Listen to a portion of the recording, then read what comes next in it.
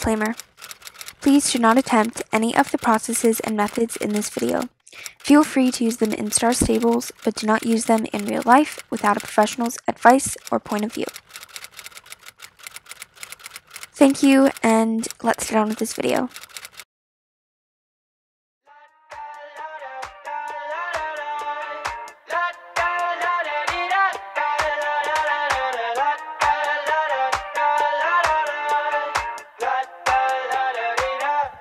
Head out the sunroof. I'm blasting our favorite tunes. I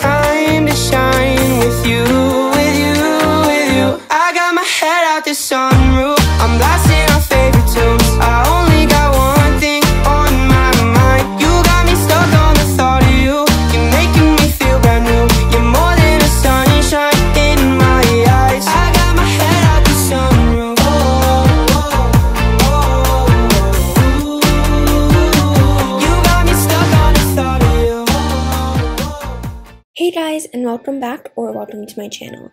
I'm super excited to bring you guys this video as it was definitely a journey to get to this point with Millie. Millie is my 14.7 hands purebred curly horse mare. I got her from an auction about a month or so ago and she was just getting broken in. So this is basically a recap on her journey as a sort of a memory where I can look back on this video and look at how far we've come together. So without me being coming sappy, let's get this video going.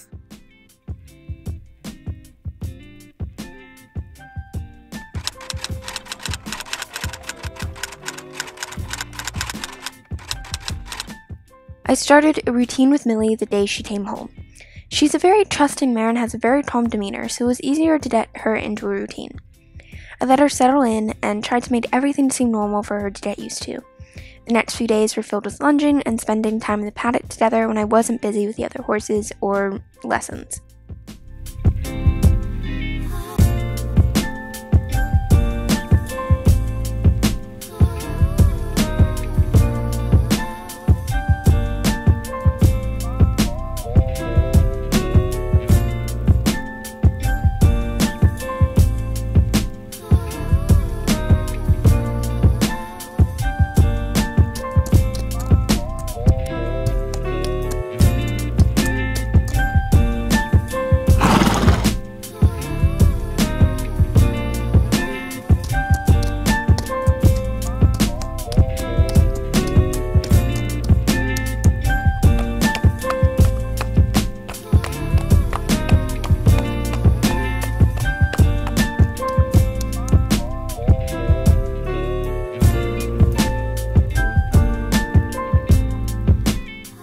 After a few days of building a trusting relationship, I started seeing how far her old owners went with tacking up. I put on the saddle pad and she seemed alright with it. I walked her around with a halter on so she could get used to the feel of the saddle pad and it moving.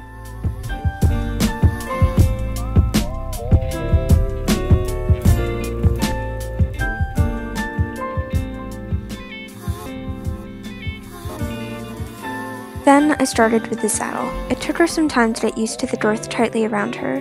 When she didn't like it, I took it off.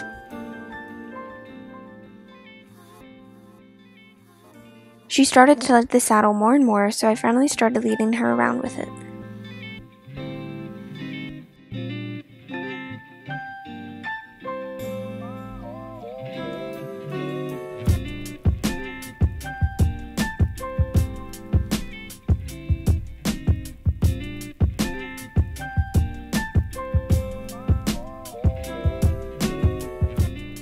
Finally, she was okay with the saddle pad, saddle, and the girth, so I started on the bridle. Millie was already fine with the halter and the lead rope, now she just needed to get used to more straps on her face and the bit. She hated it. Completely full on hated it.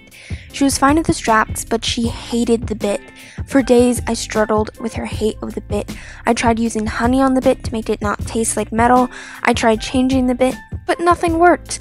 Until one of my lesson students suggested to me to try bitless riding like she did at home with her pony. And without the bit, Millie finally accepted the bridle, and I could finally tack her up fully.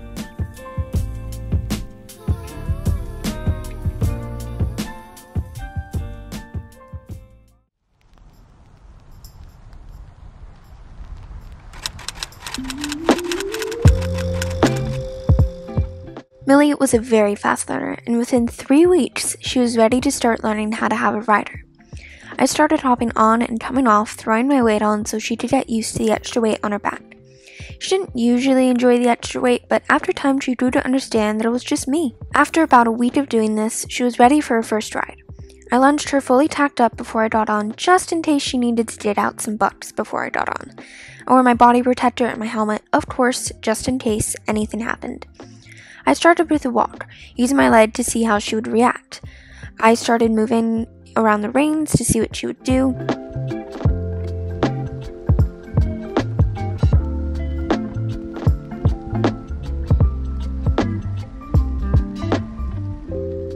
We then picked up a trot and I started sitting. She was completely calm. She seemed to understand what I was doing and was not scary at all. So I started with the posting trot. And we just went on like this, sitting and posting and then walking and a few things like that.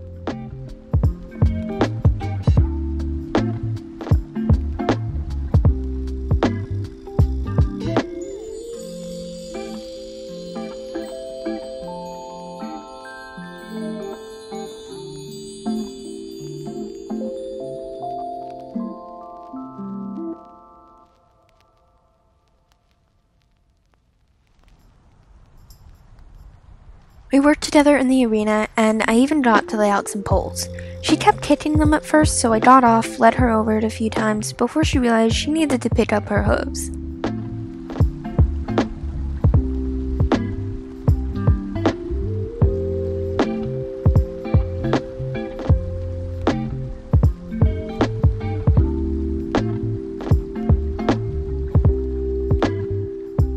We worked together over and over in the arena, a lot of days, and finally, I knew it was time to take her on our first trail ride.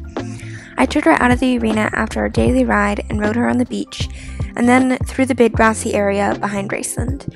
We walked, trotted, and cantered, and it was amazing. She is doing so well.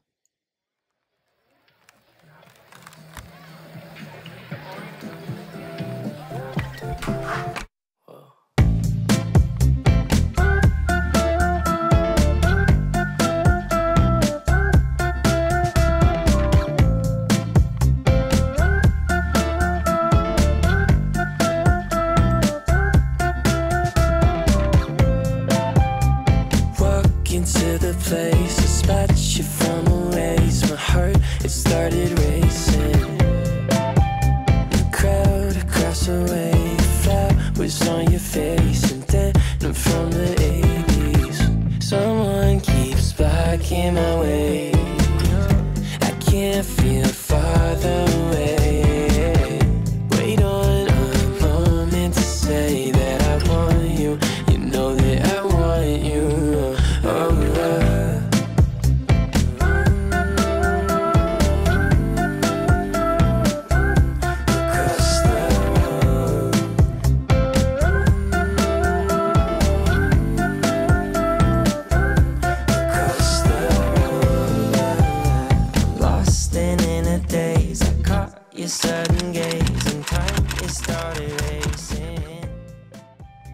father was a hunter jumper star, so it's basically in her blood.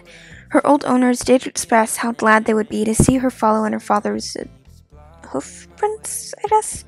I don't know. So I started her in hunters and jumpers. Teaching a horse to jump is hard, so I started using poles in our lunging lesson to get her used to it. I then started using raised poles in our rides, getting her to raise her hooves higher.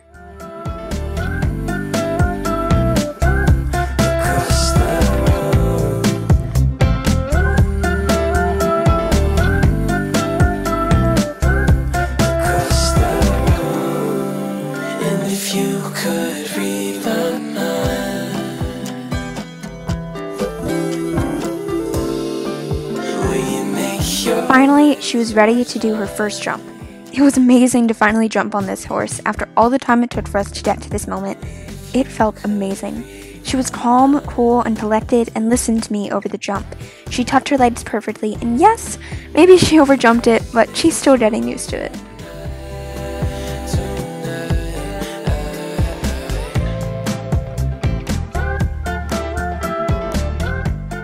Few weeks of jumping, and I put the jumps higher each week. She's jumping now around 3 to 4 feet and he's doing pretty well.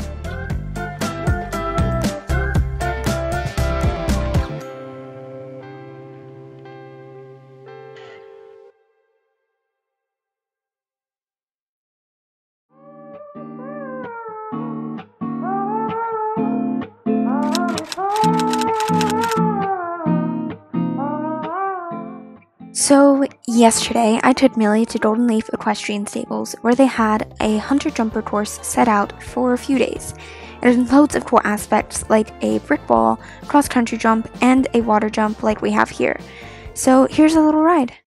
Staring out the window, reaching for a North Star,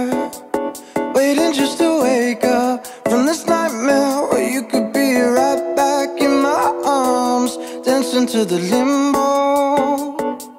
Stuck here in the middle. You tell me that it's simple But I could paint a thousand different pictures of what is wrong. But if we turn the clocks back A couple dials We should throw them out. Because time ain't ours, oh But you feel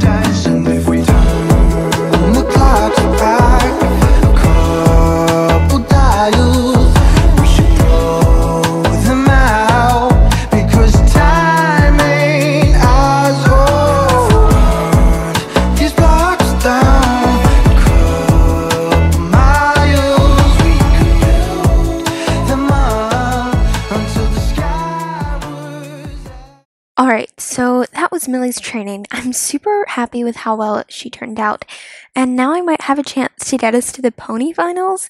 It's a slim chance, but it might happen. Anyways, this means I will try to get Millie into more shows, maybe do some clinics with her, I don't know. I'm still in disbelief that I basically just broke in a horse. I mean, I sort of did it with Belle, but she was already trained. She just needed to be reminded how to act. Technically, Millie is the first horse I've ever fully trained, and this was amazing. So, anyways, thank you guys so much for watching. Don't forget to like, subscribe, and turn on notifications. And I will see you guys next time. Bye! Mm-hmm.